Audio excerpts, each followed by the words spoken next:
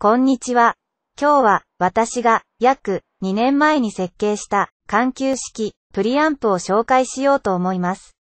ご覧の通り、このプリアンプ、モデル FL320X には3極出力管 300B、そして 2A3 が2本ずつ装着されています。このような構成はアメリカで私の YouTube チャンネル映像を見て自分が望む方式のアンプを提案したので可能でした。ご存知のように、プリアンプに出力管を使うということは、設計者の立場から見ると、かなりの負担で作用します。なぜなら、一般的な個信号真空管を使うのに比べて、電力消費がはるかに高いです。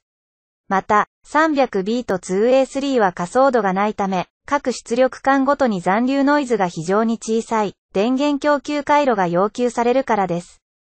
この問題を解決するために、すべて5つの 2N3055 を使用しました。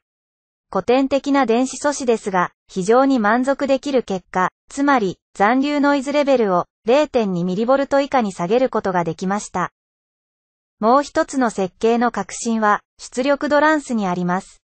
パワーアンプのように、出力管をドランス結合させ、非常に低い出力インピーダンスを実現するとともに、ヘッドホン専用出力を別途取り出し、ヘッドフォンアンプマニアの欲求を満足させるようにしました。出力ドランス、そして電源ドランスは、すべて私が持っているオートワインディングマシンを使って製作できました。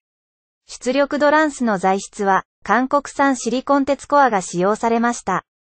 最後に、300B と 2A3 のコンパッチ回路には4回路3段セレクタを使用しました。これは電子技術を少し理解する方ならコンパッチ回路がどのように構成されているのかすぐに思い出せるはずです。結論を話そうとします。電子工学を専攻した人として正直に言うと2つの真空管が再生する音の違い、そして電気的特性の違いを全く感じることができませんでした。ところが、オーディオ愛好家の中には、二つの真空管の音が明らかに違うと主張する方がいらっしゃいます。とにかく、私は注文者の要求を100プロを達成しました。